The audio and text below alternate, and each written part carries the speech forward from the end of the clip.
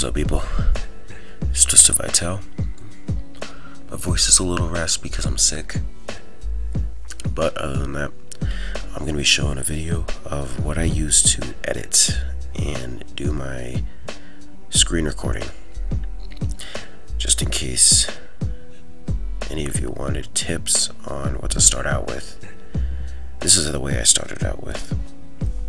Because there's certain ways that I tried and my computer wouldn't agree with it.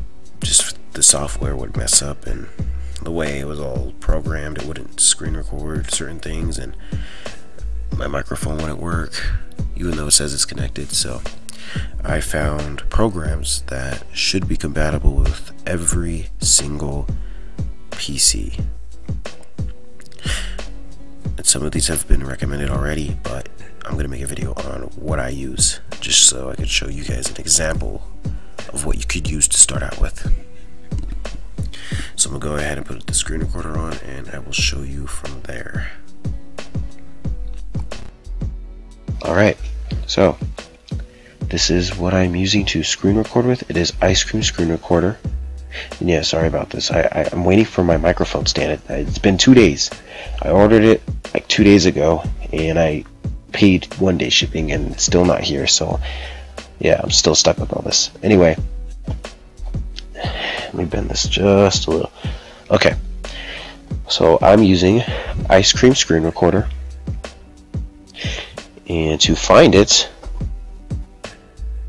we are going to go, and you're going to go into the search bar on Google, type in,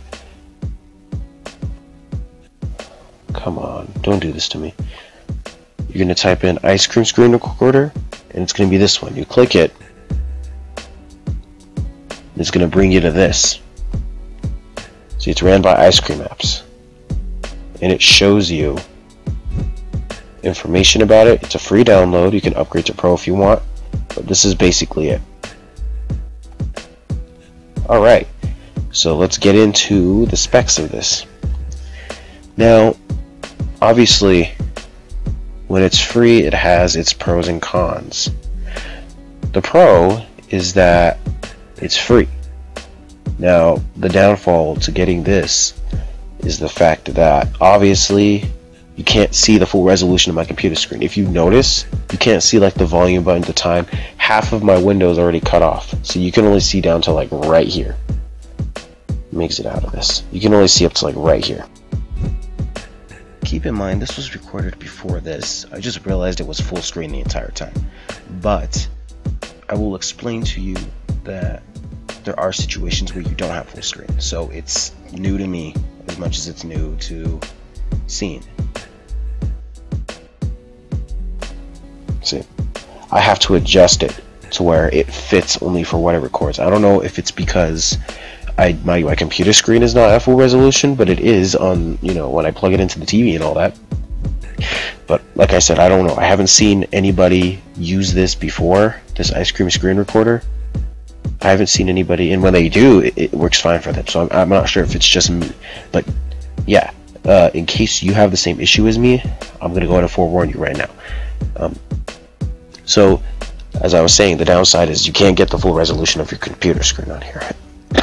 excuse me, you can't get the full resolution because it just doesn't work that way. So notice how you guys see just this kind of resolution, just this kind of display.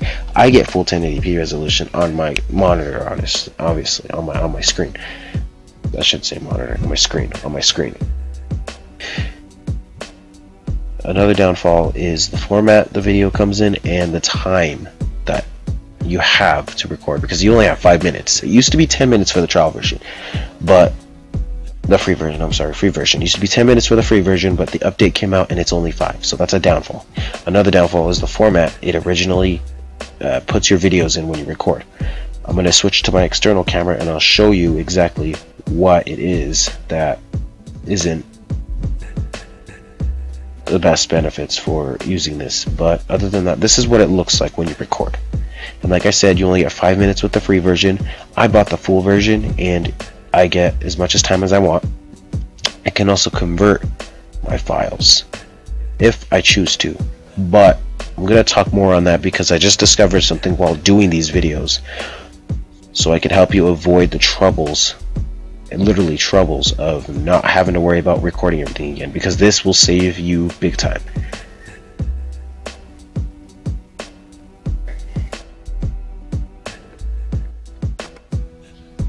Alright, so I just switched to my external camera on a phone that I'm not using, just only recording, but anyway.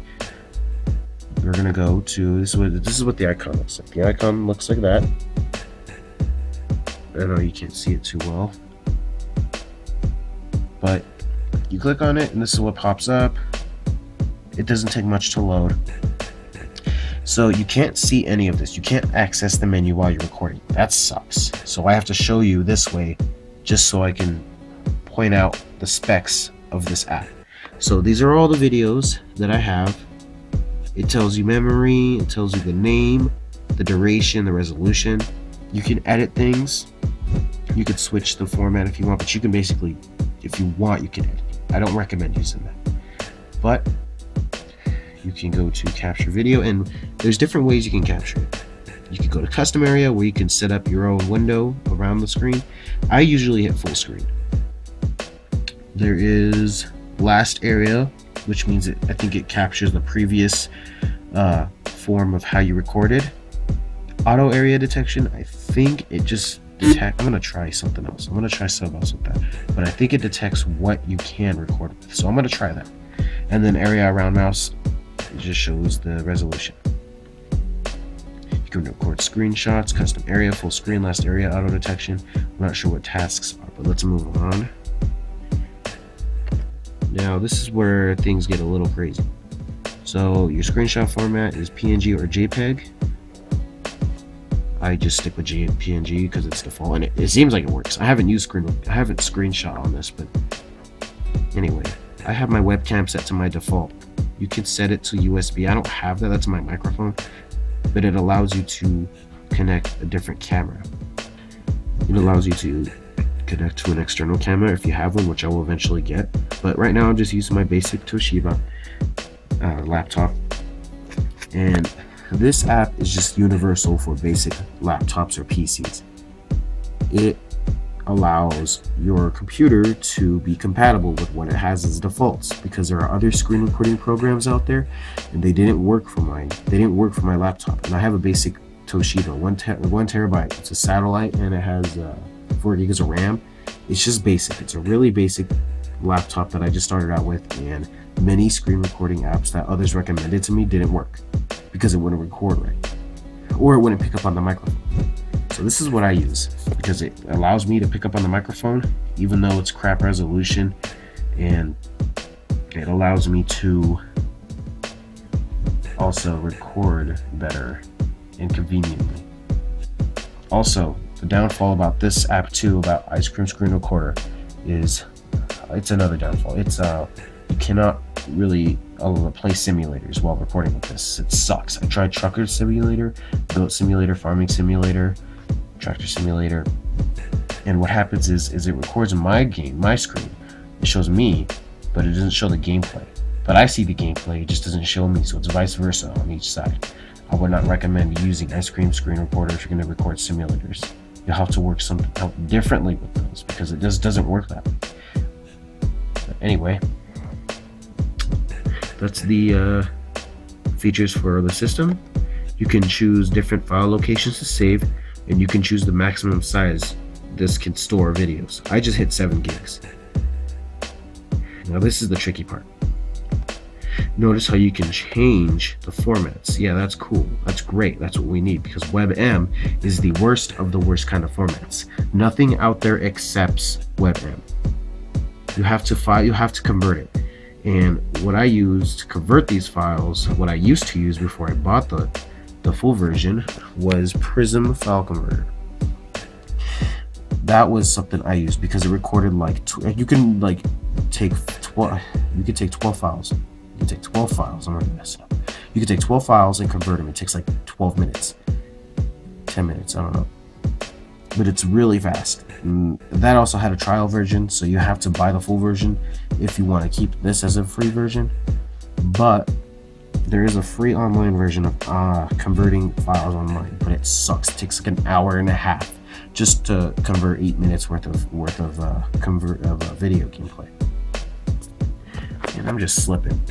This is exactly why I do not repeat these videos more than twice. This the previous one was working great, but nope, I went ahead and jacked up. But anyway, WebM is a trash format. I would recommend not using it, but keep it on this when you record it. And I'll tell you why. Keep it on WebM because I just realized when I switched to MP4 and I was recording, it was lagging the hell out of my screen. I'll give an example.